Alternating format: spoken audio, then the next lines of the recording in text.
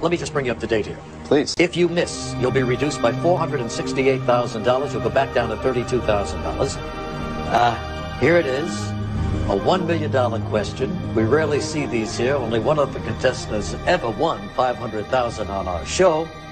So if you're ready, let's go for the million. Which of these U.S. presidents appeared on the television series Laugh-In? Lyndon Johnson, Richard Nixon, Jimmy Carter, Gerald Ford. Um, I like to call my father. I'll talk to my father. Does he have Tom? He does have a name, yes, Tom. All right. Our friends at AT&T will get uh, your dad on the line, and we'll see if he can help you. Hello? Hello, Tom. Yeah. Hello, Tom. Yes. Hi, Regis Philbin here from Who Wants to Be a Millionaire. Hi. We've got uh, your son John uh, with us right now. Are you winning, son? He's doing pretty well. Good.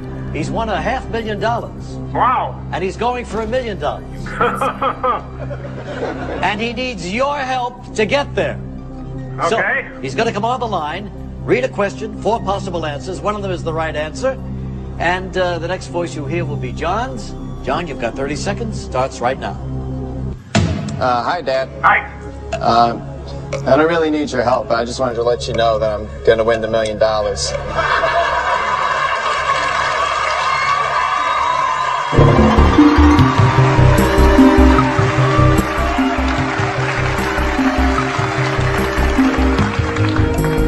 Uh, because the U.S. president appeared on Laugh-In as Richard Nixon. That's my final answer.